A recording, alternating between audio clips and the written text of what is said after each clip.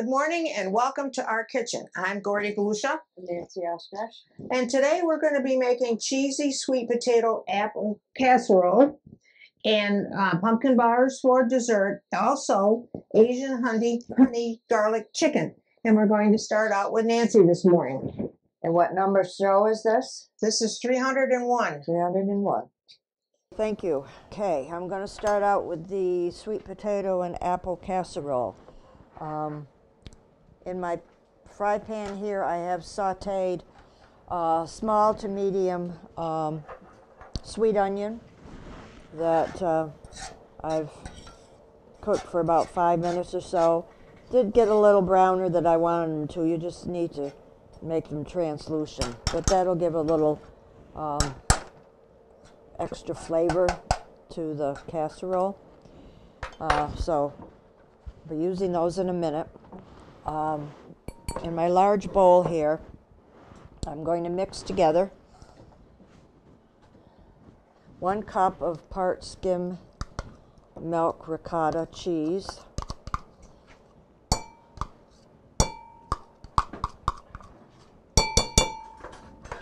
And for some seasoning, I want uh, a teaspoon of dry thyme.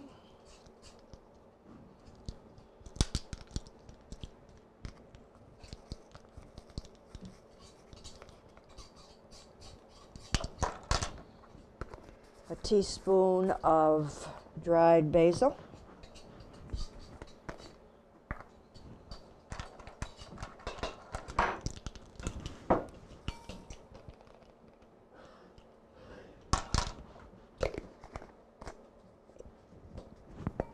And salt and pepper to taste.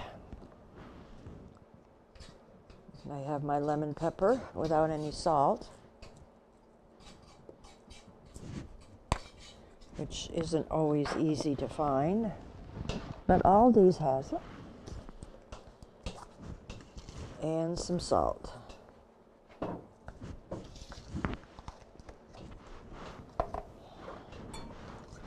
And mix that all together.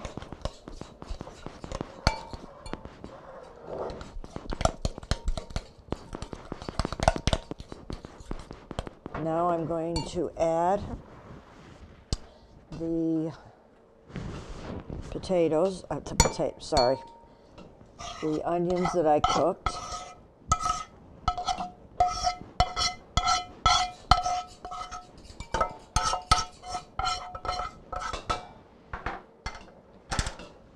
And some sweet potatoes. Uh, two medium to large sweet potatoes that I have diced um, and peeled. Uh, I did this ahead of time, so I wanted, I don't want these to get brown, which they could um, a little bit. So I packed them in water to bring to the studio.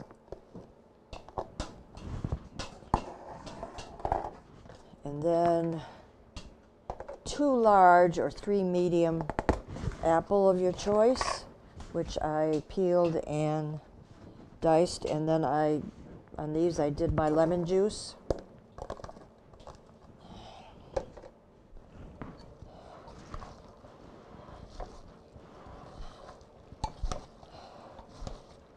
So they would not go brown.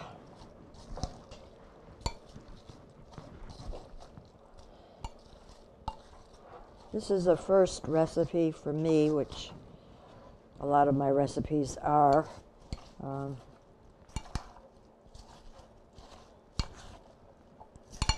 and most of them over the years have turned out just fine.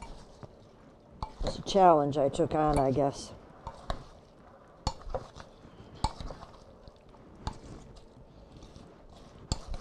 And you've mixed all this up well.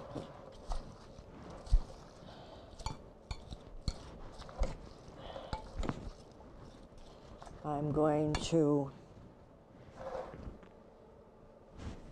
put them in a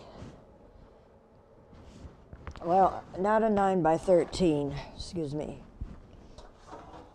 A little bit smaller baking dish I have here, which I have uh, sh- spray shortened.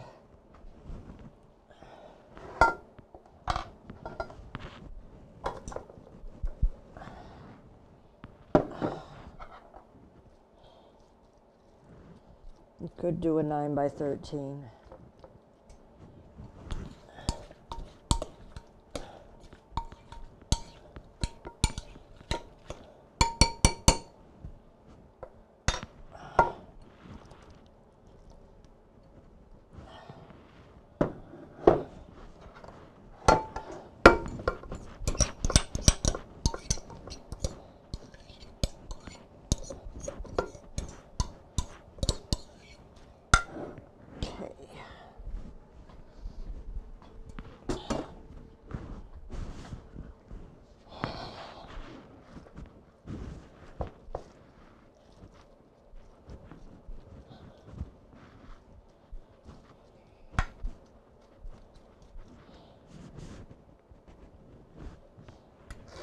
And to top it off, I'm going to sprinkle about one and a half cups of shredded sharp cheddar cheese.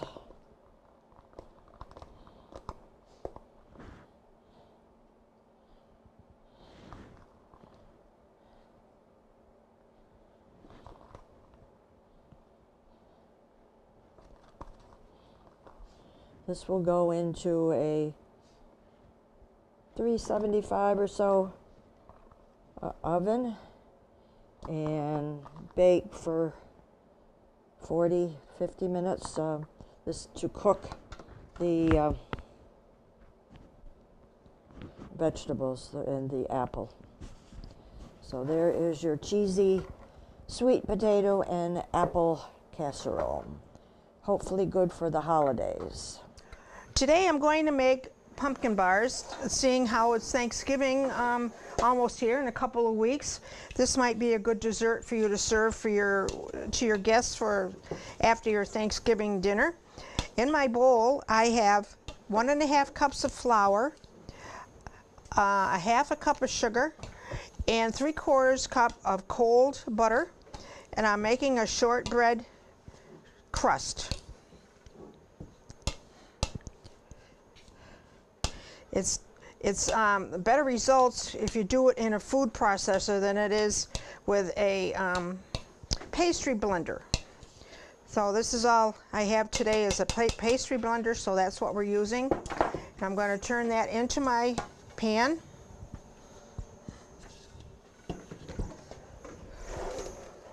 And I'm going to make a crust.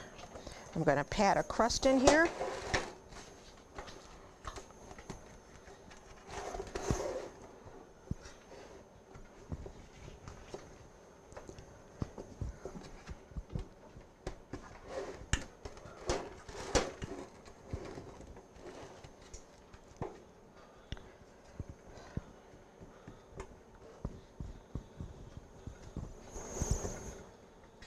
My hands were very clean before I started.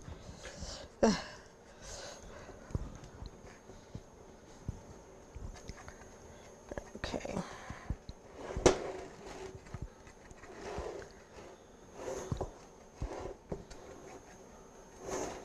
That looks like it might be a-okay.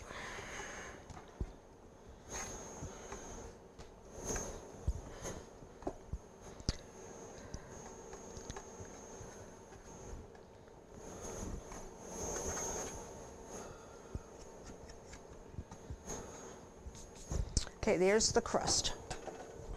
Okay, and into my bowl, I need four eggs.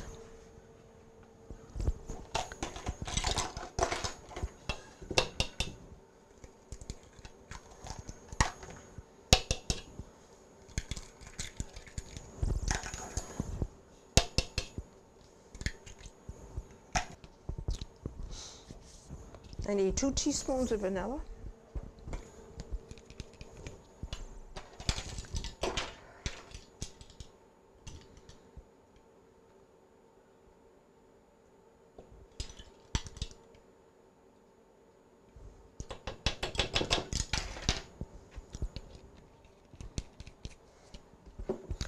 One and a half cups of sugar.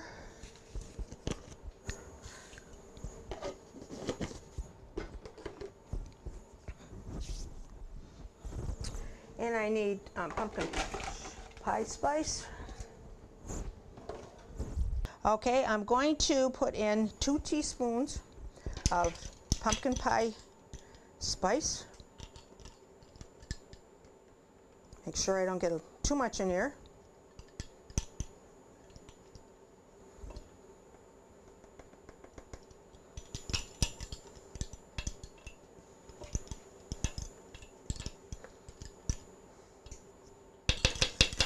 Call that two teaspoons. And I need um, cinnamon. I need a um, one teaspoon of cinnamon.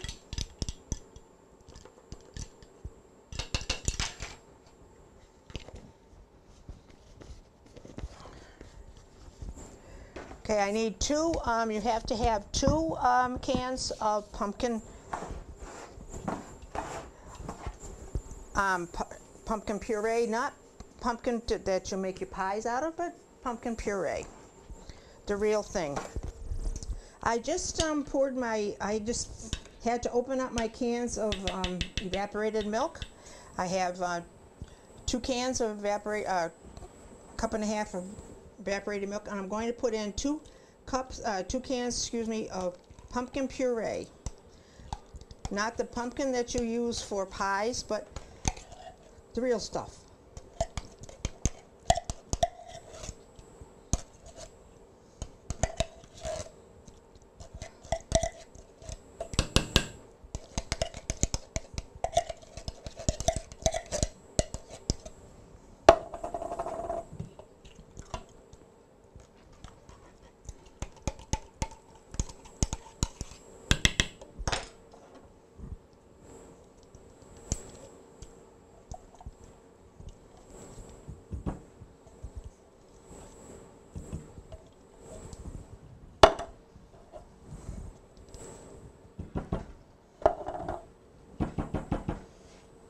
Okay, then you mix this all together.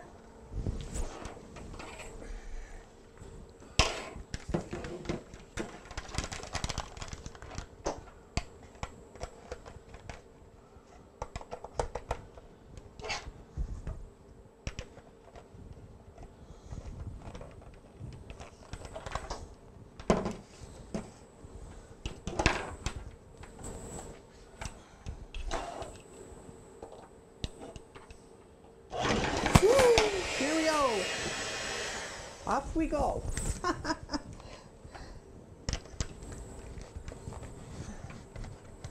Come on. Has to go in there. Somehow. Hmm. There. Okay. Make sure everything is all mixed up.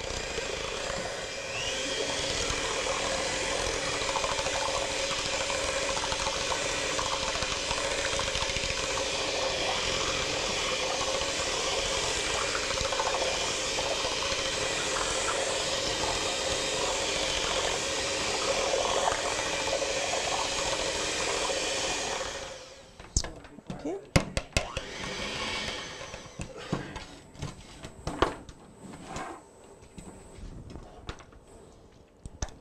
Okay, and this is what it looks like. It looks like pumpkin pie mix for uh, your pumpkin pies for Thanksgiving. And now I'm going to pour it on top of my crust.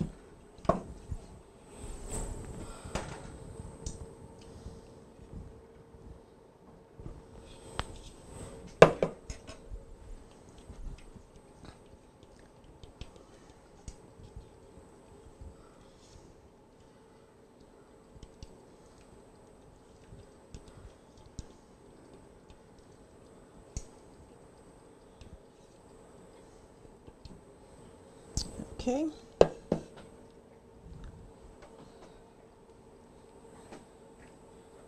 And that's what it looks like before it goes into the oven. And I'm going to put it into a 475 oven Whew. for 45 minutes.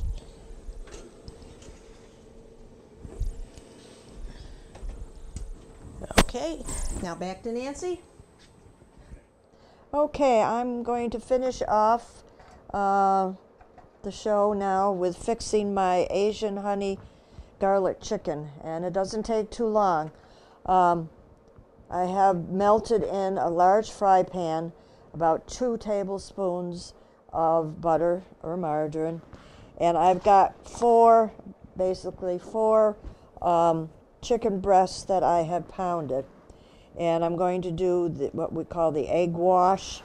Um, we first of all uh, have a half a cup of flour, which I've added one teaspoon of ground ginger to, and salt and pepper to taste. And I'm flouring them. The chicken breast first, and then I'm egg washing them and into the fry pan.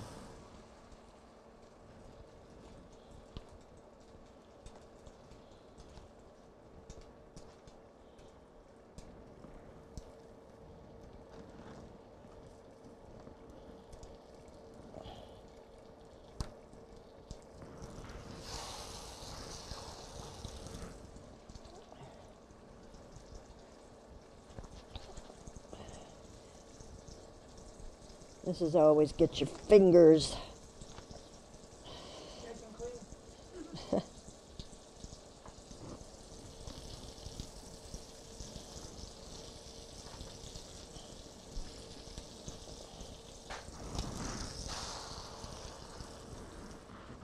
and if you have to, see.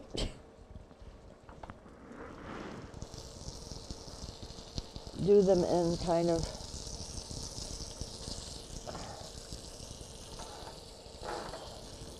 Okay. One more piece. I think I'll try and fit them all.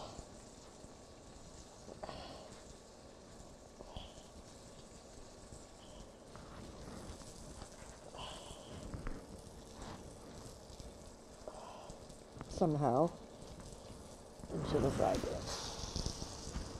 There we go.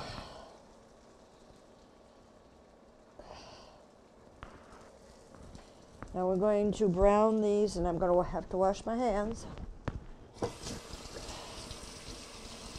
You uh, fry those about four minutes on each side. Of course, being pounded down won't take too long to cook them through.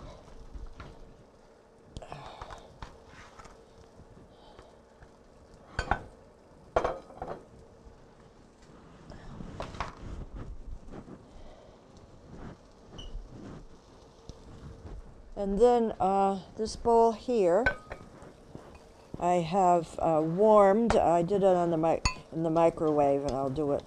You can do it on in a small pan. I have a half a cup of honey. I have two tablespoons of butter. I have a teaspoon of soy, so- soy sauce and two cloves of garlic minced. And you want to warm that up I will put it back in the microwave. And then serving the chicken on a platter, um, then you drizzle the soy sauce and honey uh, mixture over the chicken and serve. So.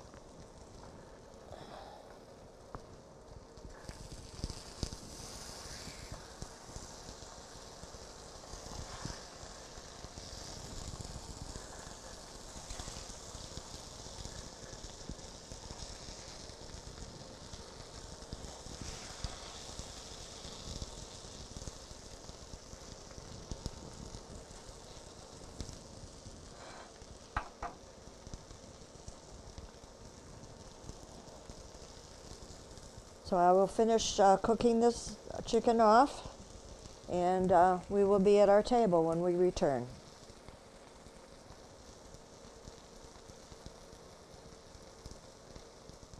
Welcome back to our table, show number 301.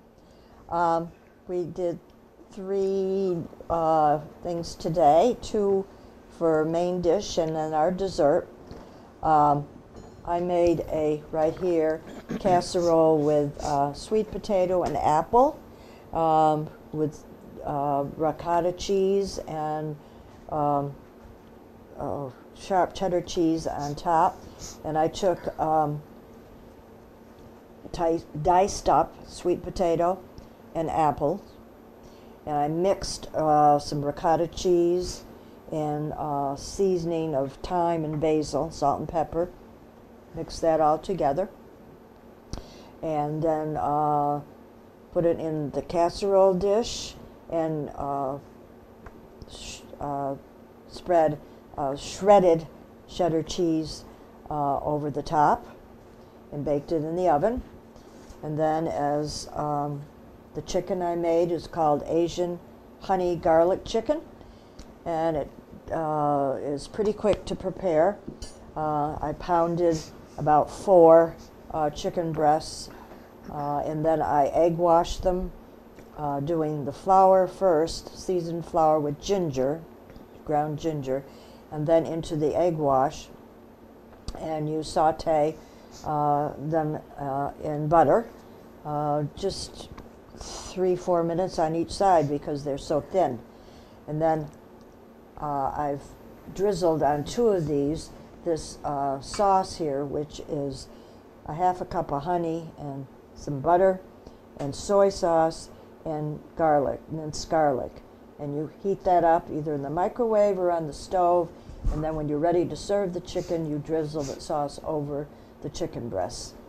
And that's the two main course uh, dishes for the main course. And now Gordy will talk about her pumpkin breast. Today I made pumpkin pie bars with short um, short um, bread crust. Um, I used um, gluten-free flour, and I want to say your recipes do come out better if you sift your gluten-free flour. So if you if you are gluten-free, if you are a gluten-free person and you like desserts and you have to use flour, make sure you sift it first because it will make it a lot um, softer. If you just pour it from the the bag, it doesn't. I don't believe it tastes that well. So anyway, I um, that's how I did it. And I have um, flour and sugar, and I made uh, put three fourths cup of um, butter in there and made a shortbread crust and I patted it patted it into the bottom of a pan. And on top, I put pumpkin pie. It looks like a pumpkin pie, and with um, eggs and vanilla and sugar, and pumpkin spice and cinnamon, and um, two cans of pumpkin puree. You don't use the um, pumpkin like you'd use for pies. You use a puree pumpkin, and also two and a half cups of evaporated milk. I mixed it all up, put it on top of my crust and I put it in a 425 degree oven for 40 minutes and then I turned the heat down to 350 and baked them 30 minutes more and they got a little brown on the side but that um, you can't see that because we got it turned around anyway after it's all done and you get ready to eat you pour on you put on a little bit of Reddi-wip and a little dash of cinnamon and that is our um, show today and this is our Thanksgiving, well, not our Thanksgiving dinner, but almost like it. So if you'd like any of these recipes, please send a self-addressed stamp down below to um, Dalton Community Cable, 151 Park Avenue, Dalton, Mass. 01226. And that is all from our kitchen today. Have a great day.